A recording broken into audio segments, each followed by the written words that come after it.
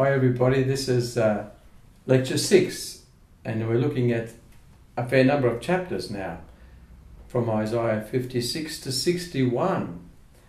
And this, of course, is uh, the, a new section. It's third, what we call third Isaiah.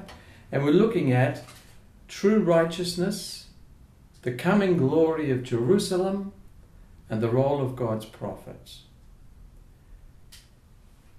we will notice that there is in this new section a significant change in tone and vocabulary and theological outlook.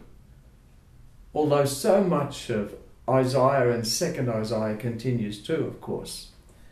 Carroll Stuhlmueller in the Jerome Biblical Commentary points out that the setting is now more clearly in the Holy Land rather than in Babylon, and the mood isn't as hopeful as it was, but rather there's a little bit of a feeling of, of struggle.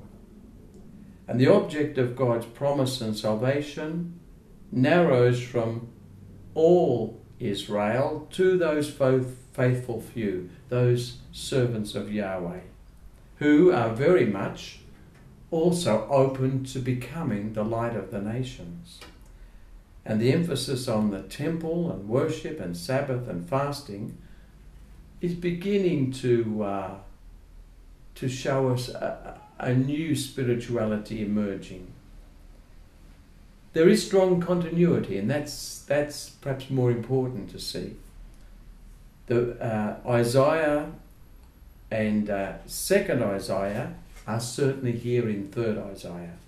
Brevard Childs points out that God reveals himself in both 2nd and 3rd Isaiah by the inbreaking of a new age. A new age which will be very filled with salvation and justice, and where his uh, glory will be revealed to all.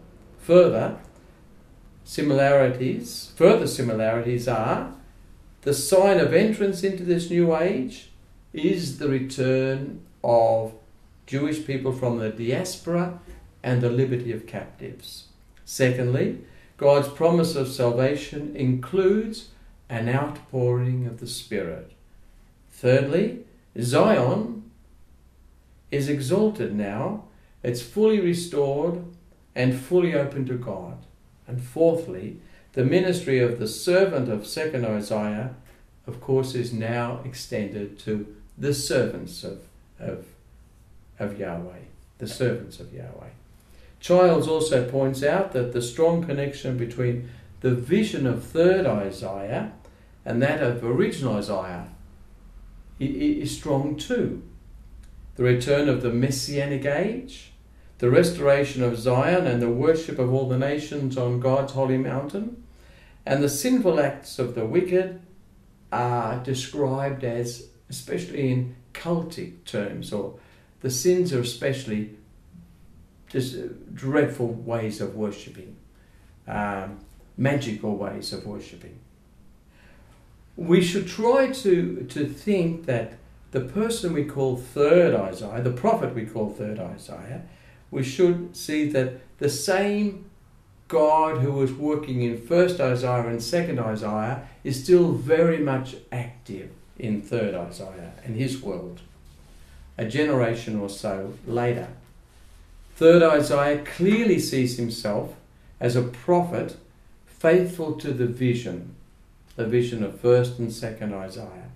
We notice that the whole corpus of Isaiah is being brought into an organic whole through this prophet, with chapter 1 serving as the prologue to the whole book and chapters 65 and 66 as the conclusion.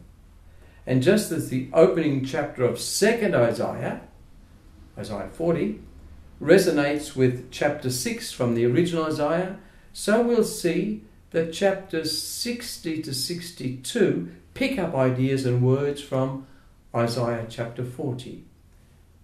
There's a lot of references in 3rd Isaiah back to 2nd Isaiah and sometimes to 1st Isaiah. So he's got, a, third Isaiah, an intimate knowledge of his predecessors. And his written work uh, emerges clearly in their, in their theological vision. is consciously echoing their thoughts, their words, very words. Some famous passages again in this section too. Arise, shine out, for your light has come, and the glory of the Lord is rising on you, though night still covers the earth and darkness the peoples. From Isaiah chapter 60. The Spirit of the Lord has been given to me, for the Lord has anointed me. He sent me to bring good news to the poor, to bind up hearts that are broken, etc. From Isaiah 61.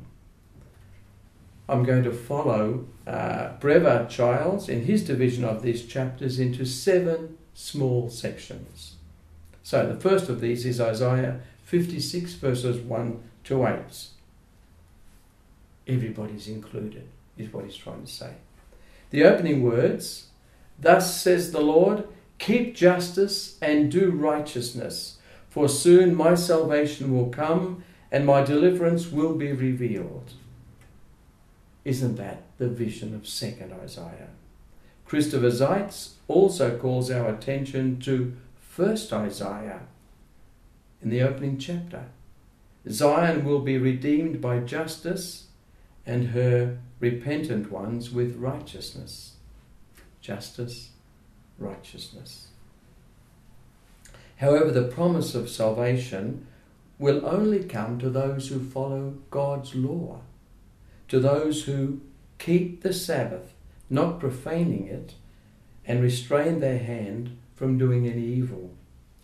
Some commentators see the mention of Sabbath observance as well coming from a much later time when Judaism did become stricter and Jewish leaders emphasizes emphasize practices such as circumcision and the Sabbath, just to distinguish them, the Jewish people, from the many others in countries nearby and within the Holy Land who weren't Jewish. But third Isaiah might just be saying, it may not come from a later age, it may just be saying that we've got to be faithful to what we know is the law.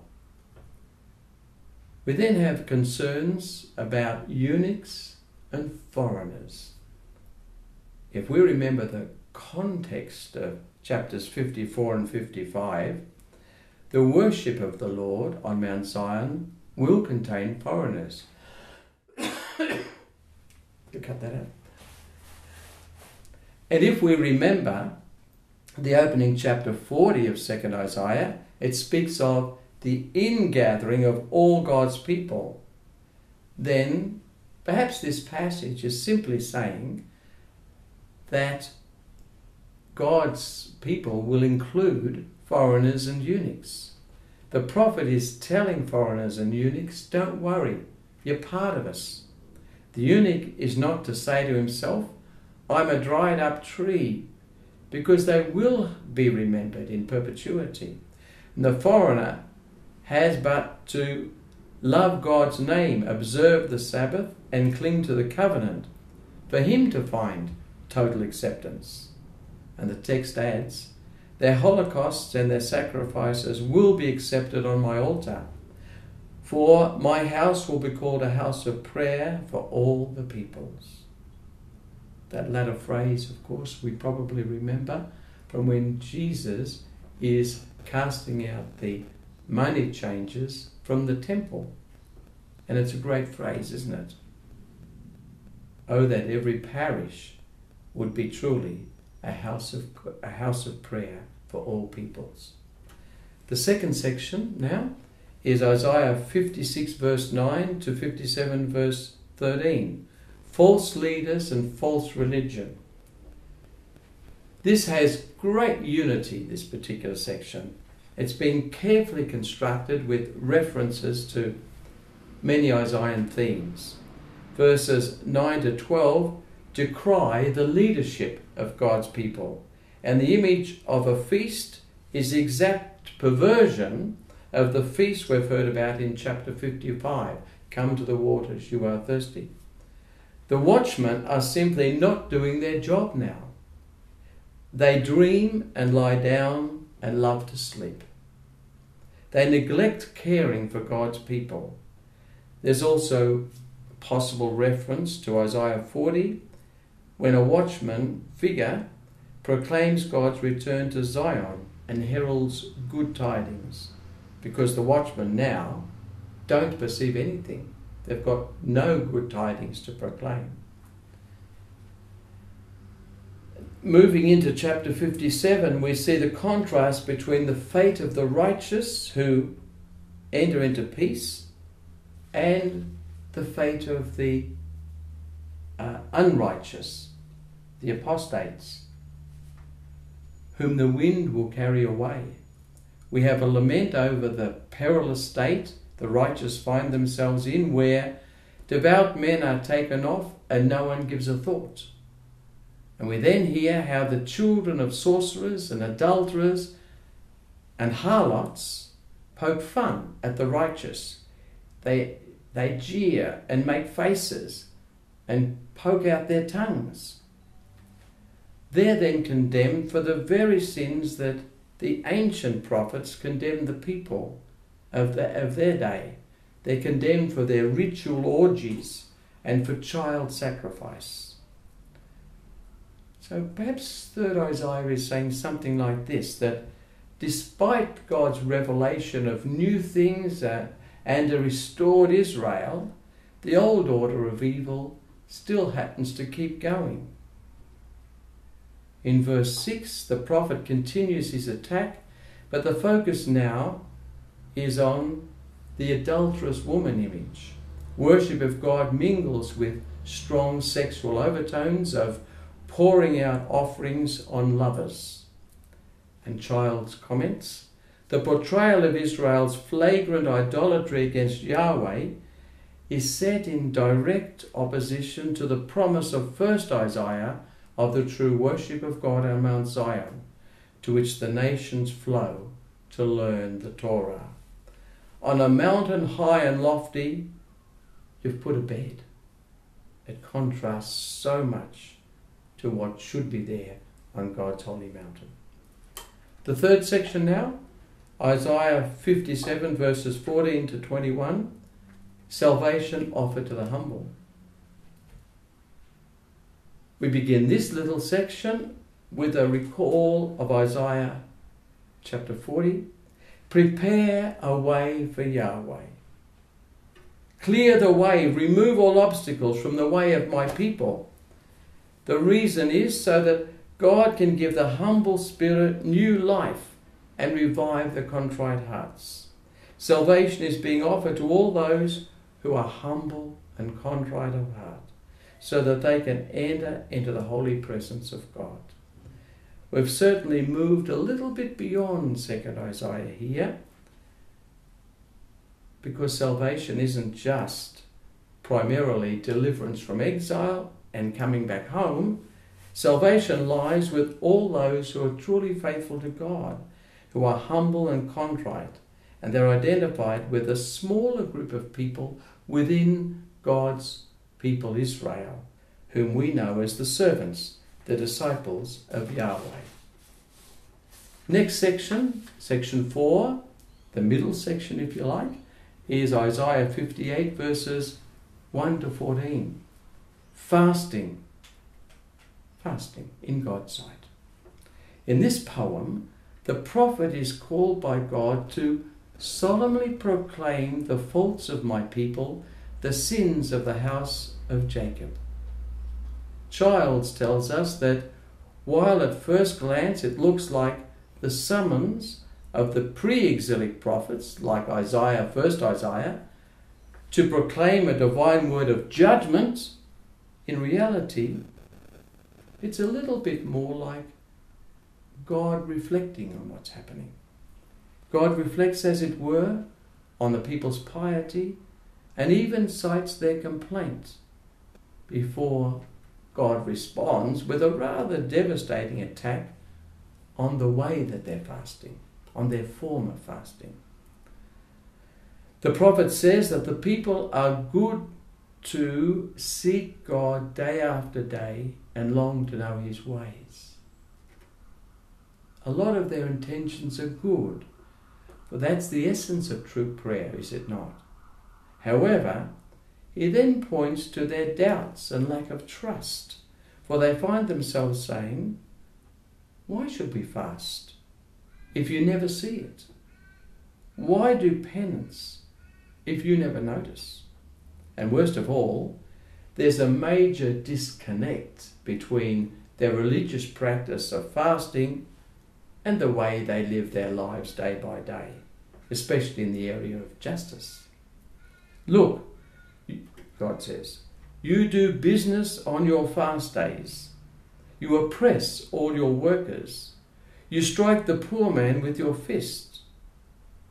And then comes this Is this not the sort of fast that pleases me? To break unjust fetters, to let the oppressed go free, to share your bread with the hungry. Powerful stuff.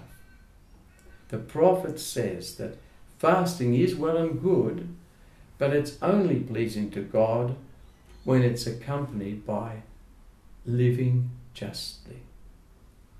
How appropriate it is for our church to give us these verses, at least up to from verses 1 to 9a, at the beginning of our Lenten journey on the Friday after Ash Wednesday. Verses 9b to 14 are a similar are similar in content but slightly different. The conditional clause, if you do this then, indicates God's strong desire for our salvation. If you do away with the yoke, the clenched fish, fist, and the wicked word, if you give your bread to the hungry, etc., then the promise of salvation is clear. Your light will rise in the darkness, and Yahweh Himself will guide you. This beautiful reading occurs on the Saturday after Ash Wednesday. The final two verses move from doing justice and honouring the Sabbath. The Sabbath is never a day for doing one's own thing, but rather it's a holy day, honourable, and it's a delightful day because it's God's day. The fifth section, Isaiah 59, verses 1 to 21. The repentant few within a sinful nation. It's a bit difficult, this chapter. Some, such as the great Dutch commentator Beuken, see parallels with chapter 50, where there are common themes of salvation as separation from God and the people's complaint that God lacks real power anyway. There's similarities of themes there. Others see parallels with chapter 63, saying that they bracket these two chapters, the central chapters in 3rd Isaiah, chapters 60 to 62. And they remind us that all forgiveness, rather, they remind us that the glorious vision these chapters, these central chapters reveal, will only come about when Israel's sin is confessed and forgiven. So, going a little bit through chapter 59, the first eight verses, we have reasons why God is apparently distant from his people. Your sins have hidden his face from you. Your hands are stained with blood, your fingers with iniquity. And this, this is followed by a catalogue of images, including it's a bit like vipers and spiders, and it ends with, They do not know the way of peace. There is no justice in their paths. The next section, verses 9 to 15a, we move from the first person plural, we move to the first person plural, and commentators see here the response of a faithful Israel, those servants of Yahweh.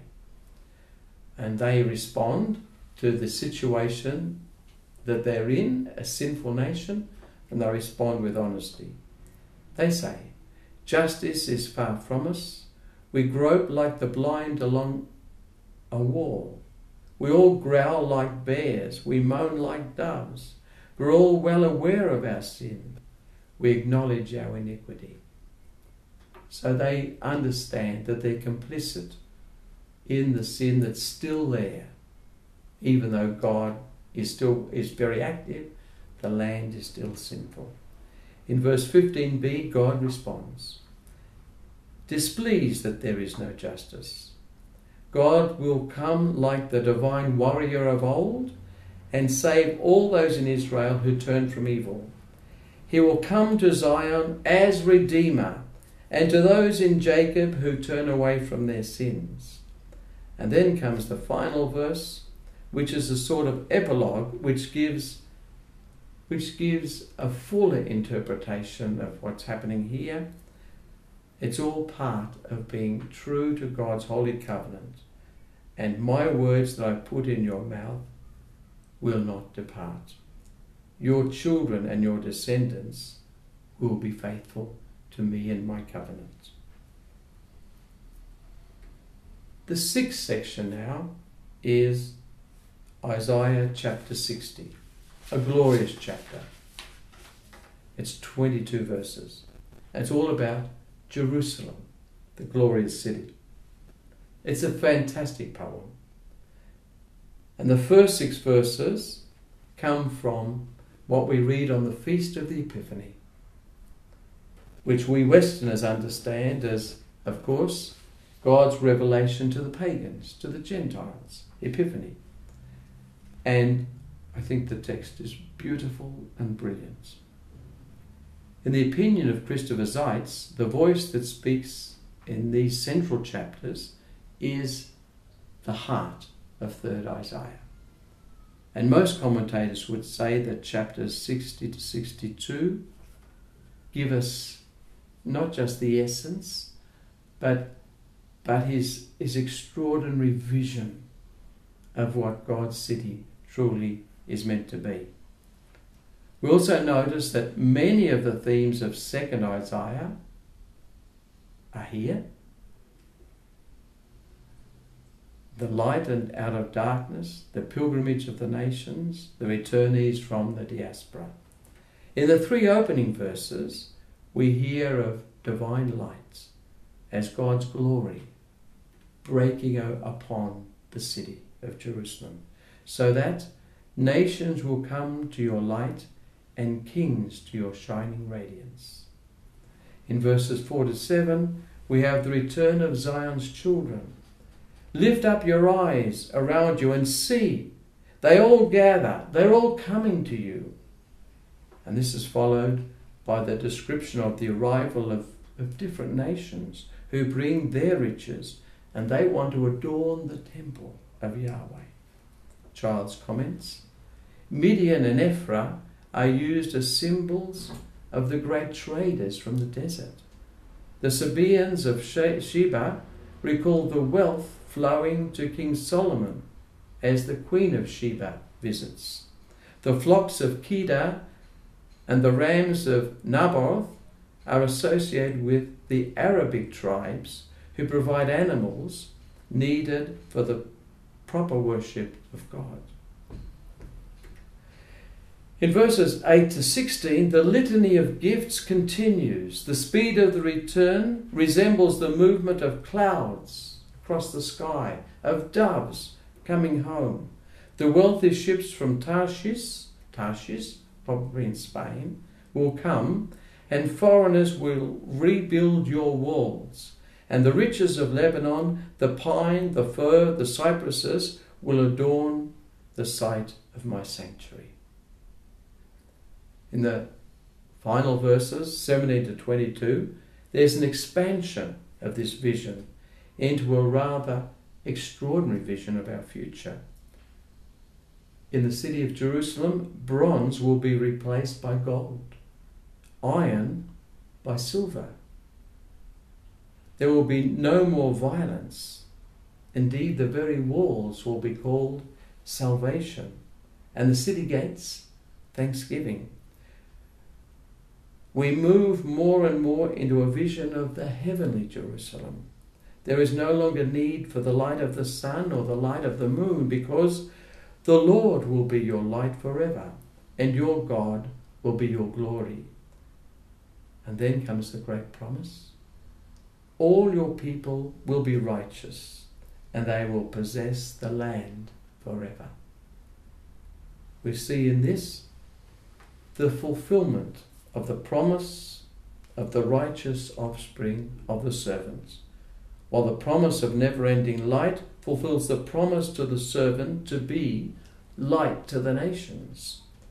This very eschatological vision, this vision of the end times, if you like, is a, is a vision of the heavenly city, something taken up by St. John in the book of Revelations. And now, good friends, the seventh and the last section, Isaiah 61. There are 11 ch- verses in this chapter, the role of God's servants. This is a famous passage which St. Luke uses to present Jesus to us as the Messiah in that famous passage in the synagogue. And when he opens the scroll of the prophet Isaiah and he finds the place where it's written and he reads it, we use this text for the Chrism Mass during Holy Week. We use it uh, also during Advent as key to understanding the role of the Messiah.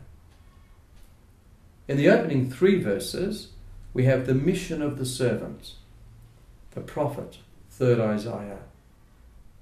And he identifies himself with the servant of second Isaiah.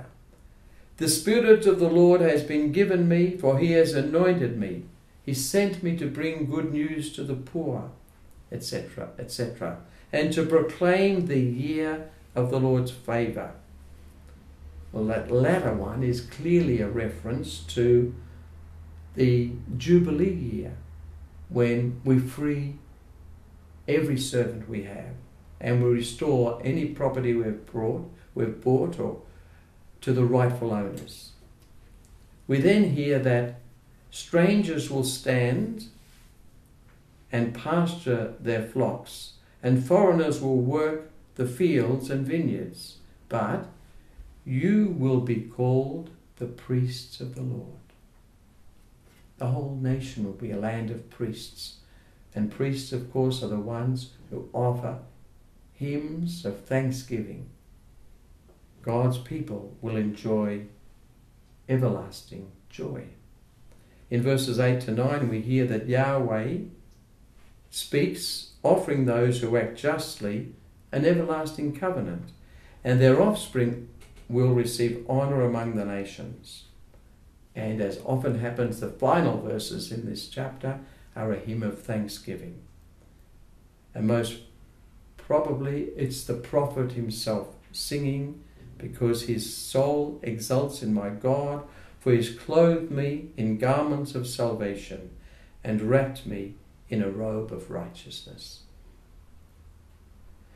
So we've looked at these chapters more than half of 3rd Isaiah, really, six whole chapters. We've seen how God's salvation is being offered to the righteous, including those who often felt they weren't worthy enough eunuchs, foreigners, etc. We then hear how pervasive social injustice is in the land and how contempt for the righteousness is, is rife. God's salvation, however, is still being offered, and it's being offered to the humble and contrite of heart, and to all those who follow the duties of their religion with a righteous heart. Again, the prophet speaks of the prevalence of injustice, but those who are righteous do confess their guilt and are open to God's salvation. And then we moved into the key chapters 60 and 61, which speak of the coming of the glory of Jerusalem and the role of Yahweh's servants in preparing for this. Thank you.